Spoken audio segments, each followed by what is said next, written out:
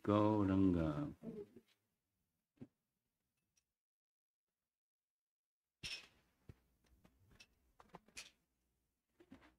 Okay. Those of you that like to look up the verse that we're going to be discussing, the, this morning's verse is Canto 10, Chapter 9, Text 19. 10, 9, 19. Om Namo Bhagavate Vasudevaya. Om Namo Bhagavate Vasudevaya. Om Namo Bhagavate Vasudevaya. Evam Sadarshita Yanga. Harina Britya Vashyata Svavashena Krishnena Yasyedam Sheshvaram Vashe Evam Sandarshita Yanga Harina Britya Vashyata Savashenapi Krishnena Yasyedam Sheshwaram Vashe. So the verse is from Mother Jasoda binding Krishna, because this is Damodar month. And the translation, oh, Maharaj Parikshit, the entire, this entire universe with its great exalted demigods like Lord Shiva, Lord Brahma, Lord Indra, is under the control of the Supreme Personality of God, and yet the Supreme Lord has one transcendental attribute. He has more than one. He comes under the control of his devotees. This was now exhibited by Krishna in this pastime. Of course, the narrator is Shukadev. Shukadev is describing Krishna's pastimes in Vrindavan, and this most beloved pastime of Krishna is the subject of chapter 9.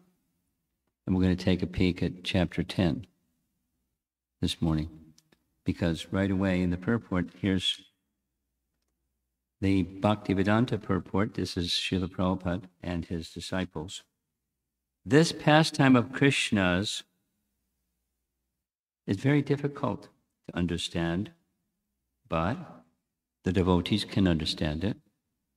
It is therefore said, Darshayang tad vidam loka atmano bhakta vashyatam. 10, 11, 9, colon. The Lord displays the transcendental attribute of coming under the control of his devotees, as stated in the Brahma Samhita 535.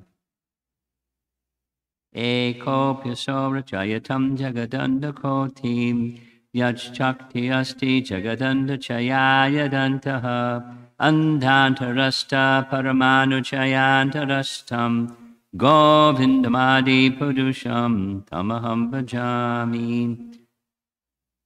By his one plenary portion as Paramatma, the Lord controls innumerable universes with all their demigods, semicolon, yet he agrees to be controlled by a devotee.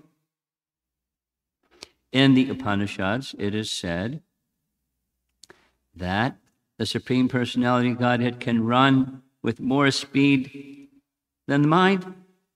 But here we can see that although Krishna wanted to avoid being arrested by his mother, he was finally defeated, and Mother Jasoda captured him. Lakshmi Sahasra Shatasambrama Sevyamanam colon. Krishna is served by hundreds and thousands of goddesses of fortune. Nonetheless, he steals butter. Like one who is poverty stricken, Yamaraj, the controller of all living entities, fears the order of Krishna, yet Krishna is afraid of his mother's stick. These contradictions cannot be understood by one who is not a devotee. But a devotee can understand how powerful is unalloyed devotional service to Krishna, semicolon. It is so powerful that Krishna can be controlled by an unalloyed devotee. This Britya Vashyata, which is mentioned in this verse, the morning's verse, does not mean that he is under the control of the servant. Hmm. Rather, he is under the control of the servant's pure love. In Bhagavad Gita 121, it is said that Krishna became the chariot driver of Arjuna. Arjuna or, ordered him, Senayor Ubayor Madhye Ratam Sthapaya Me Chuta. Quote, My dear Krishna, you have agreed to be my charioteer and to execute my orders. Please place my chariot between the two armies of soldiers. Krishna immediately executed this order, and therefore one may argue that Krishna also is not independent, but this is one's ajnana or ignorance. Krishna is always fully independent, semicolon. When he becomes subordinate to his devotees, this is a display of ananda chinmaya rasa, the humor of transcendental qualities that increases his transcendental pleasure. Everyone worships Krishna as the Supreme Personality of Godhead, and therefore, sometimes he desires to be controlled by someone else. Such a controller can be no one else but a pure devotee. Very nice purport. And one can say, I picked this because this is like the essence of the whole Leela, or one of the important essences of the whole Leela. He's not controlled by the devotee, he's controlled by the love of the devotee. So if you want to control Krishna, you have to become a lover of Krishna. And then it's not controlling Krishna, it's the love controls Krishna. It's similar to, of course, different from, but similar to the statement that Lord Vishnu makes to Durvasa Muni. Durvasa, I'm not independent from my devotee. You've offended my devotee. You're asking me to take away Sudarshan Chakra. Durvasa, go to my devotee, and if he says, it's done. If he gives his forgiveness, if he gives his forgiveness, then Sudarshan Chakra will stop. Because Sudarshan Chakra is after you because you offended my devotee. So yesterday we spoke about offense, the offense of Dvivida to Lakshmana, and it was several kinds sequential spiraling offenses, but that brought about his fall down or his susceptibility to bad association. Through bad association, he became bad. But bhakti can protect you. Bhakti will protect you, provided no offense. Small thing, right? No offense. But it's, it's important. Bhakti is important and offenseless. Bhakti is especially important. Now, Mother Yasoda didn't make an offense, although one could argue wait a minute, wait a minute. Didn't she make an offense? She wants to bind Krishna. She's chasing Krishna with a stick in her hand. Is that not an offense? Lord Brahma, he, Lord Brahma, wanted Krishna to display the limit of his powers, and so he stole the calves and the cowherd boys and put them in a cave. And the offense was in, two things. He stole and he interrupted Krishna's pastimes. His pleasure pastimes were interrupted by the Lord of the universe, Lord Brahma. That, those, that was the offense. It was an offense. And Tatena kampam susamikshmano. We was asked to speak on this verse from a while in Dallas. You know the verse? Tatena kampam susamikshmano. This verse is spoken by Lord Brahma. It's a very important verse, often recited, where he, Brahma, is acknowledging, I made a big boo boo. Krishna, I offended you. And I acknowledge my offense to you. So I'm not coming to you and asking you, please take away the reaction to the offense. Rather, I await whatever it is that's coming to me for that offense. Stane statakshutikatam tanavan manobir. One should stay in one position, whatever that your, your psychophysical nature is, stay in your position. But with body, mind, and words, dedicate yourself to Krishna's service. And something happens. That something that happens is you become eligible for returning to the spiritual world. He says that in a nice way. You, you inherit the property of your father because it's law. The son, eldest son, inherits the property as well as the debts of his father. Just jiveta. Jiveta means you just survive.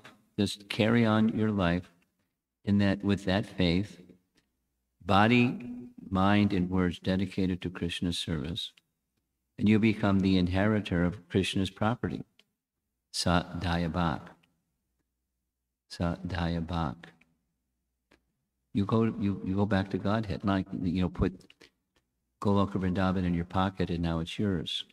You go register in the, the property, trust, property deeds and say, now Goloka is mine. Not like that. But you're eligible to inherit a position in the spiritual world because everything is Krishna's. You can't own anything, certainly not Goloka. So there's a power thematically throughout the Bhagavatam. There's a power of remaining fixed in devotion to the personality of Godhead through thick and thin. And sometimes it's difficult. And sometimes it's joyful. And sometimes it's in between and sometimes and sometimes because there's diversity in the spiritual and the material world.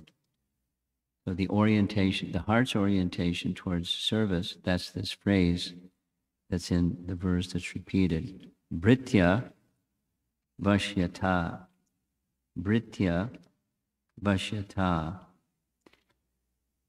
Britya indicates Krishna's position of being the servant, the servitor. Britya.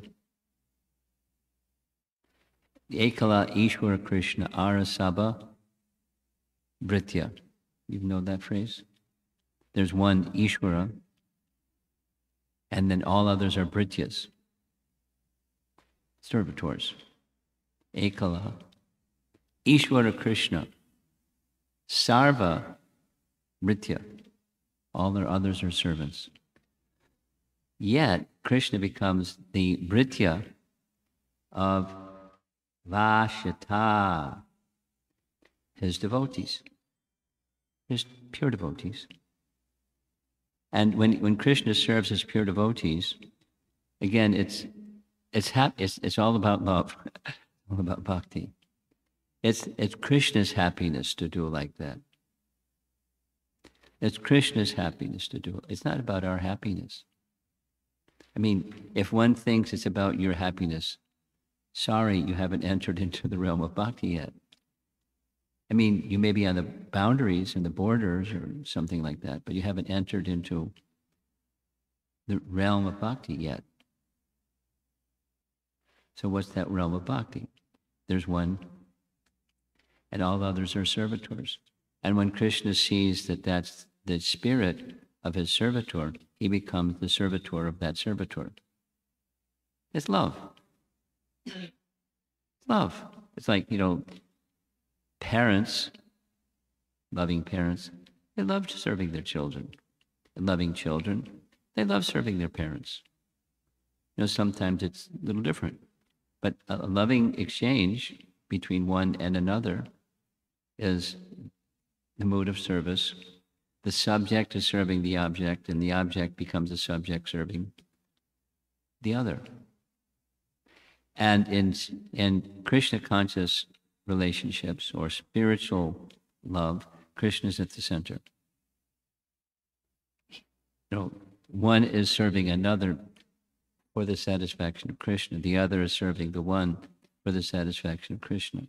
That Krishna is to be pleased is at the center. And then what does Krishna do? He becomes the servitor of such devotees. Now, it's not that we're interested in having Krishna become our servitor. That's silly. That's the idea of God is my order supplier. Then it's, then it's not service, it's business. I do this, and I have an expectation, and that's here it is. God's my order supplier. And if he doesn't supply my order, he's out of order. And I start lodging complaints. I know a few people like that. You may also know some people like that. Just don't be like that yourself, whatever people may be. That, that tendency to do something to get something, that's material. That's fruitive work. I do something to get something. It's, it's standard. It's not like that. It's just not what love is. It's not how to know Krishna. So back to how can one know Krishna? Only through bhakti. No, Krishna, Krishna, there's a list in the purport. Krishna does seemingly contradictory things. And those that aren't devotees can't understand because it's a contradiction. And there's so many.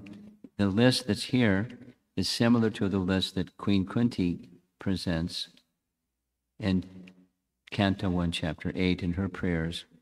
It, there's a series of verses where she says, I don't understand you.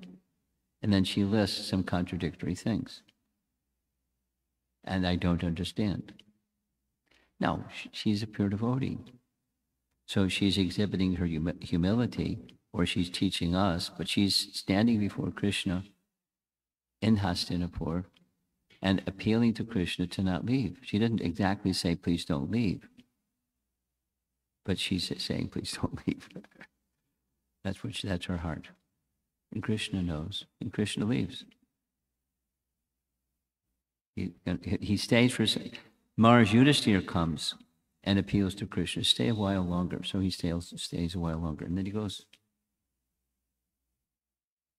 because, because he has his lila. And there are loving associates of Krishna outside of Hastinapur, like in Dwarka. So he, he had all of his queens and everything. So he goes back to Dwarka. The reference is made here. I want to read a little bit. In the, the first sentence of the purport, second sentence of the purport, makes reference to Canto 10, Chapter 11. Canto 10, Chapter 11 is um,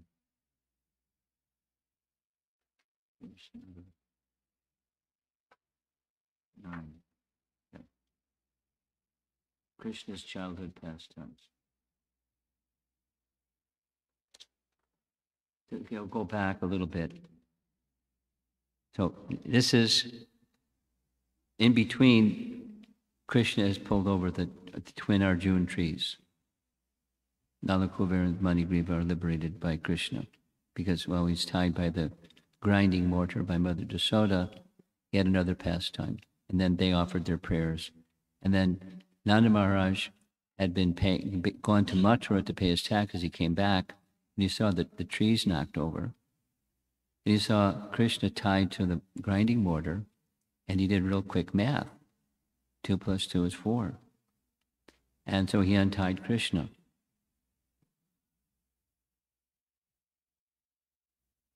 That's text six. So I'm, now I'm reading from 10, 11, 7. The gopis would say, quote, If you dance, my dear Krishna, then I shall give you half a sweetmeat. By saying these words, or by clapping their hands, all the gopis encouraged Krishna in different ways. At such times, although he was the supremely powerful personality of Godhead, he would smile and dance according to their desire, as if he were a wooden doll in their hands. Contradiction. Sometimes he would sing very loudly at their bidding. In this way, Krishna came completely under the control of the gopis. So Mother Jasoda and the elder gop- gopis. Text 8. Sometimes Mother Jashoda and her gopi friends would tell Krishna, bring this article, or bring that article. Sometimes they would order him to bring a wooden plank, wooden shoes, or a wooden measuring pot. And Krishna, when thus ordered by the mothers, would try to bring them, sometimes, however, as if unable to raise these things, he would touch them and stand there just to invite the pleasure of his relatives. He would strike his body with his arms to show that he had sufficient strength.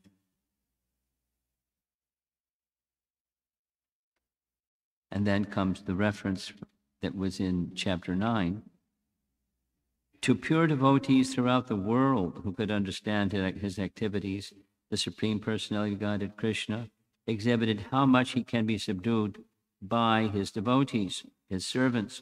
In this way, he increased the pleasure of the Brajbasis by his childhood activities. that this is this is a theme of the section, and it's a theme of the the Damodar Lila, the love of Mother Jasoda bound Krishna, not the rope. Not Mother Jasoda, not the rope. The love of Mother Jasoda bound Krishna. Of course, one can say, through the love of Mother Jasoda, Krishna was bound. But so she was the one doing. She, you know, what's the instrument? The causative instrument. There's an effect. What's the cause? It's it's a philosophical point, but it's an important point. We don't do anything, even in devotional service. We do something. We do devotional service. but the effectiveness of that devotional service is not the effort it's, it's another theme. And I'll just speak the theme and then see if there's some discussion. The theme is two inches too short. Two inches too short.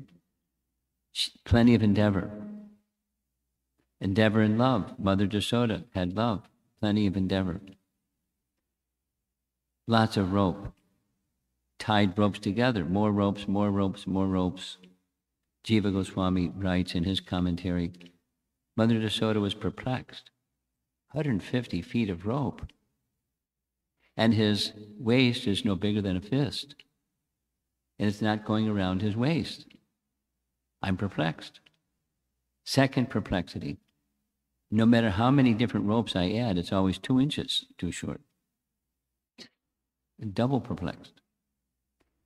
In the Bhagavatam, it says there were ladies, her friends, who were watching the fun, and they were laughing. They weren't laughing at her; they were laughing at, you know, the, the mystery.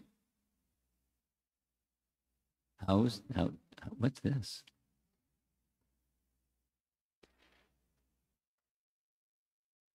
Two inches too short.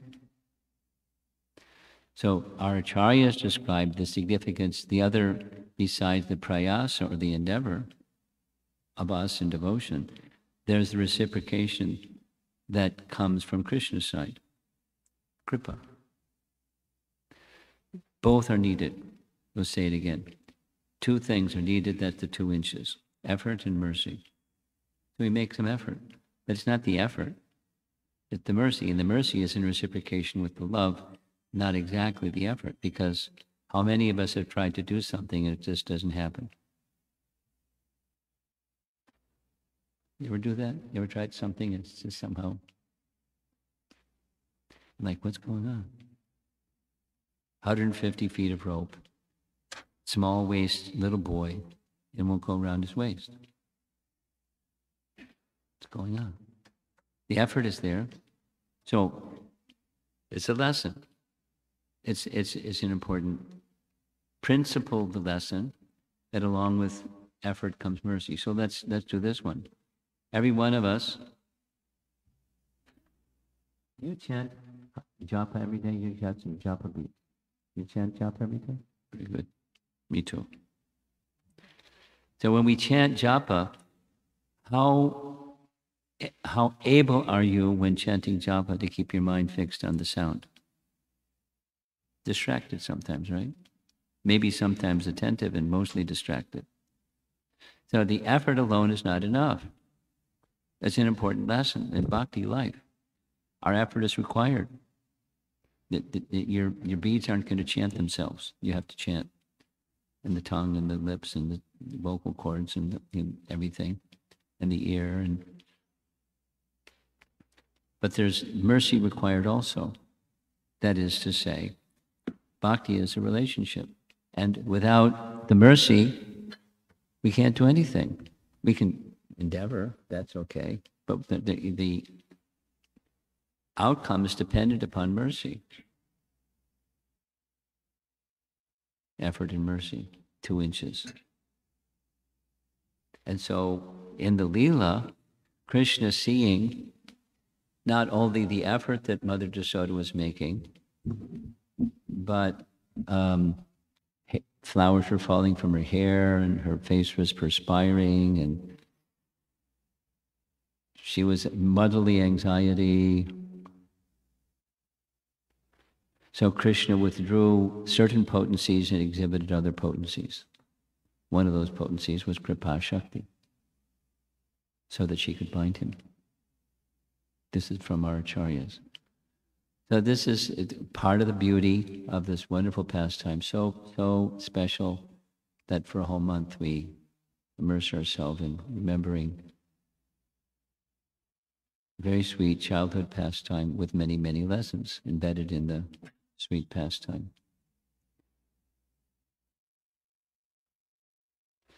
So let's see if there's some discussion.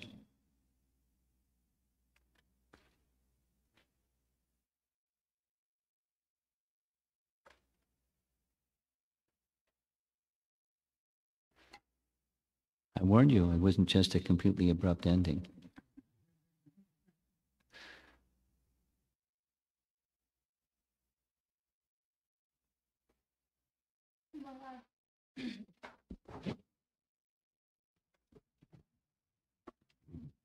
Hare Krishna Maharaj. Hare Krishna. So Maharaj, you talked about chanting and how we need mercy of Krishna in, in, in chanting also. To get the real fruit of chant, we can chant without, but to get the fruit, yes. And Maharaj, they say that we have to chant with faith and we have to chant with a lot of feelings.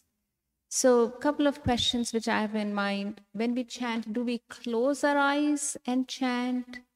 I mean, we have to hear what we are uh, uh, chanting, but does it make a difference if we are keeping our eyes closed or open?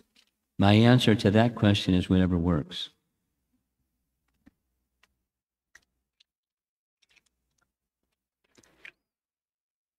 That may work. Eyes open may also work.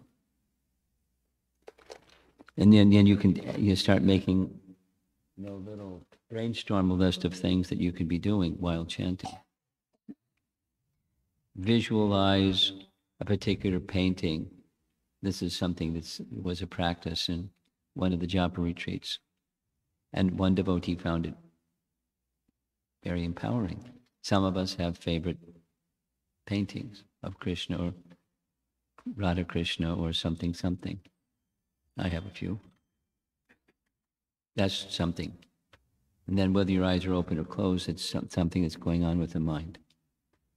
Or eh, without making a longer list, there's different things coming before your deities and chanting for the pleasure of your deities with feeling. And that's with your eyes open or with your eyes closed. I mean, whatever works. Bhaktivinoda Thakur, in one of his writings, says the main thing is don't be distracted, stay focused. So he goes so far in, in writing, says if you have difficulty, then go to a quiet room and put a blindfold over your eyes, not just close them. But you know, that's whatever works, whatever works. And the, the, the goal is attentiveness.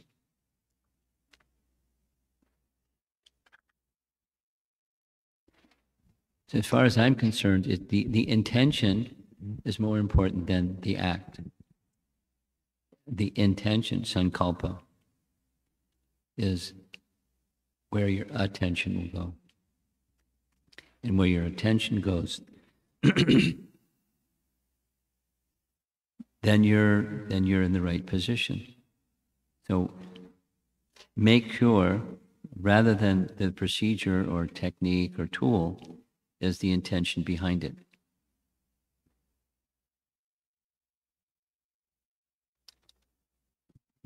Hare Yeah. Krishna. Hare Krishna. Um, so, expanding on this, since we look up to you and try to follow your teachings, what has worked for you to be attentive in chanting? What has worked for me? Well, different things at different times, but I shared a little bit. The intention is most important. Sankalpa.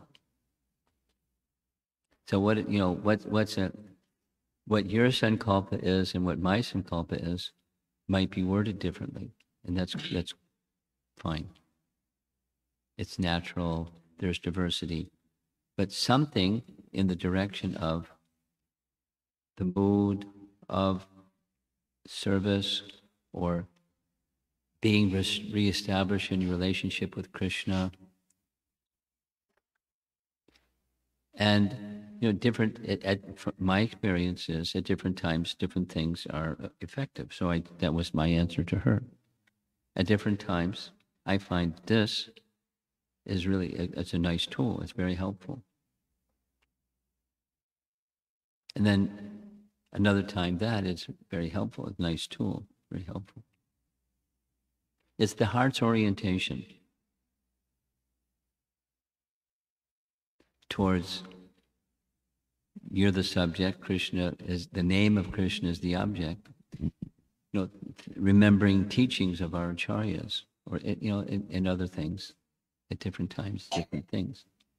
But what's imperative is the intention behind those things. Because otherwise, like the flickering mind that's in the mind and then it goes away and then something else comes and then something else comes. To steady the mind so it stays in alignment with the heart, then the intention is very important. Why am I doing this? What is it about this that has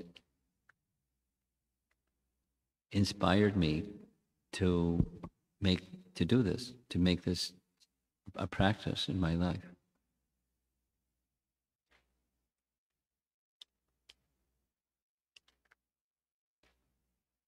Yesterday, Satyasar introduced me to a teenage girl who has been chanting 16 rounds for some months. And my question to her was, was a, you know, the Sankalpa question. What, what was the impetus to go from whatever your chanting was before to 16? She didn't have, it was difficult for her to give a clear answer. So I kind of helped her.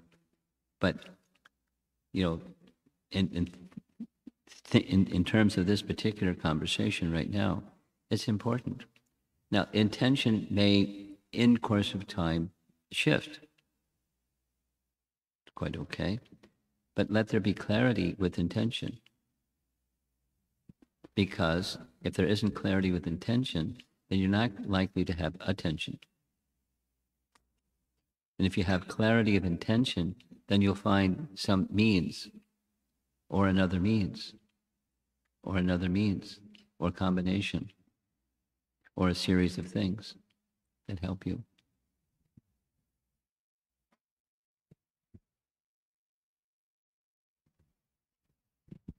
Thank you. Okay. Hare Krishna Maharaj. Maharaj, sometimes, um, as since you're talking about chanting and intention, but sometimes it becomes like when you have so many other things and you still have to do it, it just becomes Of like a, course. like how do you what do you tell yourself to keep motivated other than the fact that yes, I have to do it because I've taken a vow? Well, duty is one thing, and love is another thing. Duty may help one get to the place of love, but the place of love is not duty. It's this relationship. So that keeps me going. It's, uh, you know, it's- fundamental. The, each of us is going to be a little different. You're asking on a personal level. So, you know, back to being, you know, a, a kid, a young, a youngster. There's a higher reality. Three things. This is me in college, 50 something years ago. Three things. And it, it's still with me. It's just, it's just it's become more matured. But there's a high reality. I don't know what it is, honestly. You know, t- college kid. I don't know what it is. And I want to know.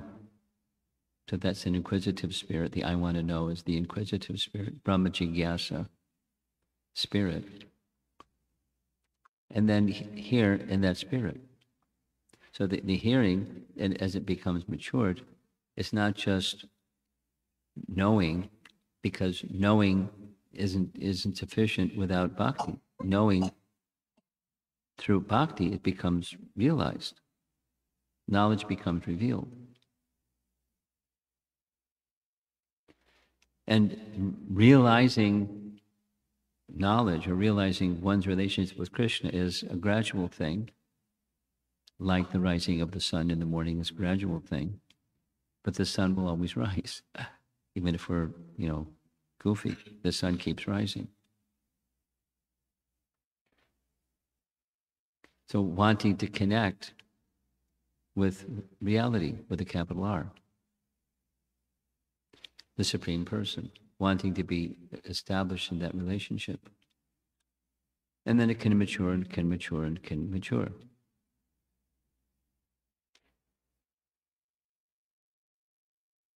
It's all about relationships. Be interpersonal and, you know, supreme.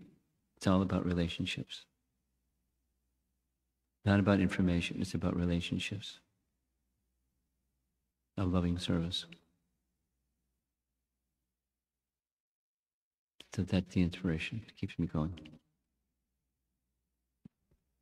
Thank you, Maharaj. Someone else behind you?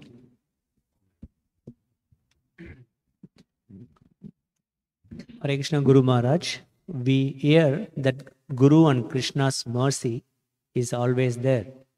We need to open our hearts to see that mercy. How do we see Krishna finally giving mercy to Mother Yashoda in this context? Oh, there's no, finally, it, the whole thing was mercy and mercy and mercy. Even the obstruction was mercy. The removal of the obstruction was mercy. It's not that when she, then Krishna finally allowed Mother Yasoda to bind him, that was the penultimate of mercy. And before that, there wasn't mercy.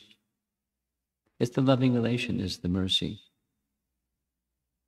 And, and just varieties, different flavors. Chocolate, vanilla, strawberry. It's all ice cream. Maybe not chocolate.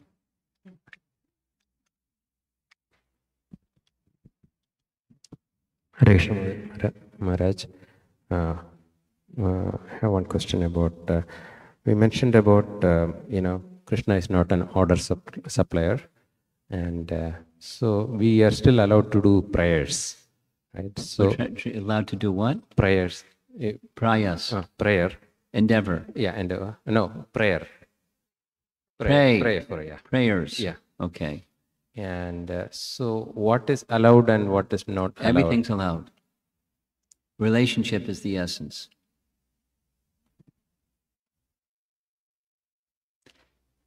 I spent one of the one of the services that I did for some period of time was I taught at the Vrindavan Institute for Higher Education for a month.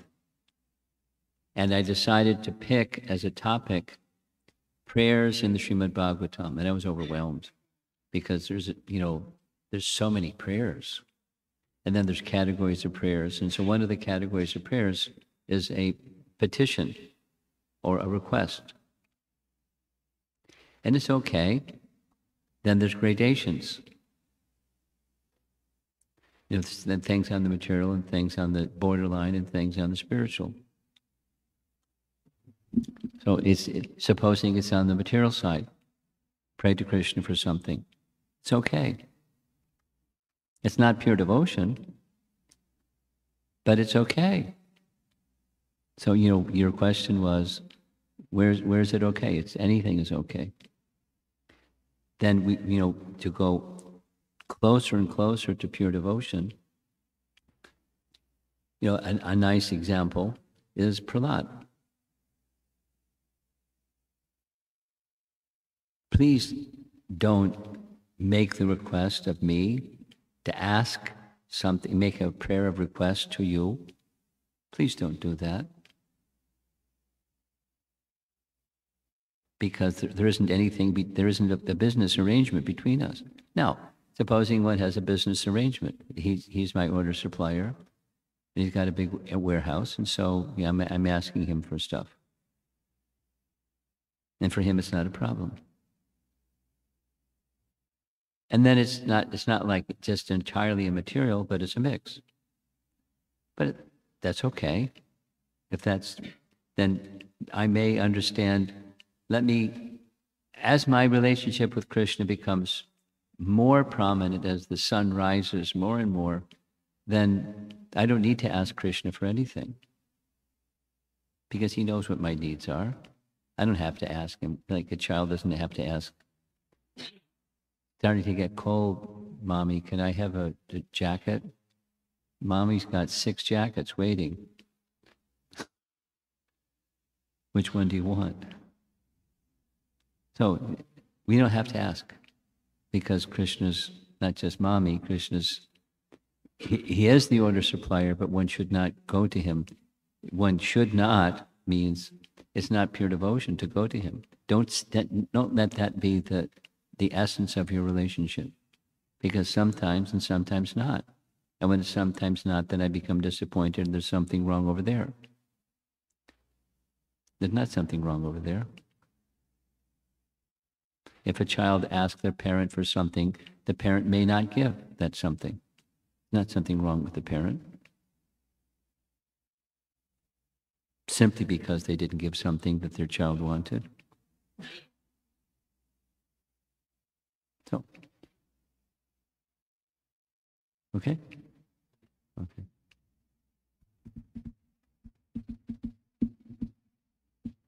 Anyone else? Here up Guru front Maharaj. again. You have something else online. The follow up question from Follow-up question online. Right. What does it mean for us, Maharaj, to open our heart to see the mercy that is always there? What does it mean?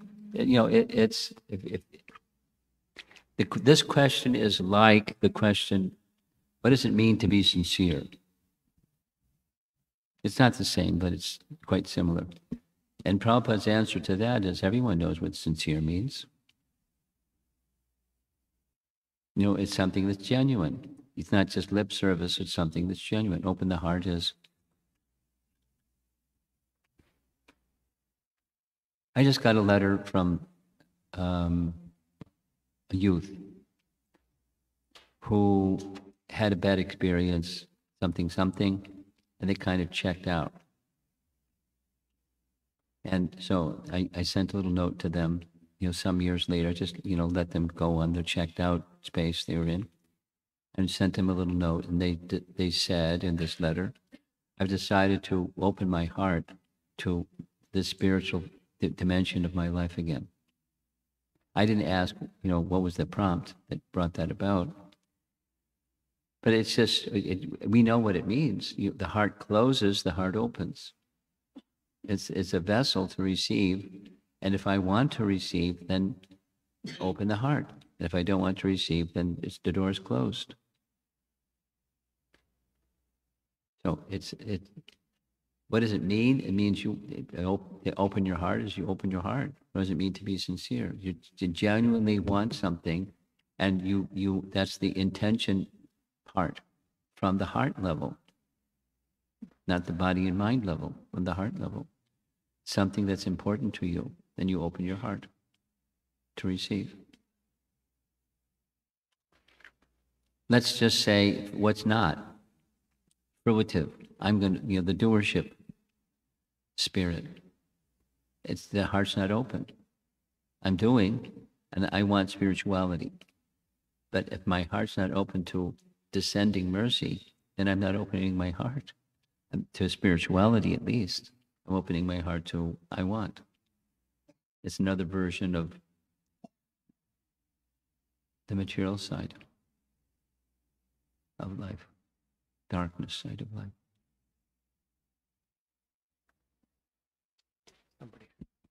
There's someone else up front. We'll just take this as the last question. We're going to end. You have something? You have something? Okay. Hare Krishna Guru Maharaj, Dhanavad Pranam, all good Shri Srila Prabhupada. Uh, Speak slowly, please. Yeah, yeah. Guru, Guru. Maharaj, as you mentioned, like uh, uh, the two inch gap is the significance of the mercy and effort. The case, which one come first, Maharaj? Like uh, No, some, there's not, then one comes first. uh, it's like inter. Yeah, there's- they're intermingled. Interlinked. Or some, it's Which like comes some. first, the chicken or the egg? Uh, It's that kind of question. Yeah, but in some devotees, they want to do something, but they won't get efforts. They can't make efforts. But in that case, they need a mercy even for the to get the effort also. I, uh, is it? No, Krishna is not limited to those who make the, the more effort, the more mercy. It's not like that. Mm. He can give costless mercy, just drop a bunch of mercy on someone's head. But if they're not as desiring the mercy, it'll just wash right off. It won't be transformation. So, some effort. And it can be small, medium, large. It's a relationship. Anything. It's all about relationships. It's all about relationships. Say it three times. It's all about relationships. In the case, Maharaj, you need to put some at least some effort. Yeah. You are getting the Look, mercy. the sun is shining and I'm hiding under a rock.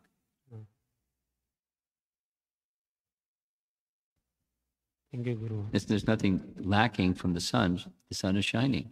I'm hiding under a rock. So I don't get the benefit of that sunshine. So some. However, big, small, medium, some. Alignment of the heart, body, and mind with the source. Last question. Thank you, Guru Maharaj. So, Maharaj, uh, if we do our 16 rounds and if we have read Shastras for an hour, if we have heard some classes from senior devotees, uh, and then we still want to do more at that point of time, should we increase our rounds or increase our This your this the answer to your question is the same as the previous question. Well, the answer to the previous question is whatever works. So sometimes you may be inspired to do this. Some time passes. Sometimes you may be inspired to do that. So then comes which is right, that which is you're inspired to do. And if there's some instruction or a longer term trajectory that you see evolving in your spiritual life, supposing that trajectory may change, supposing for some time something. I want to increase my chanting, and you get absorbed in increasing your chanting. Or some time passes. I haven't sufficiently read and understood the uh, the Bhakti Shastri, so let me. So it depends. It's not a rule. It's something. It's a relationship. In any relationship, sometimes, and sometimes. Okay, that's it. Srila Prabhupada ki jai.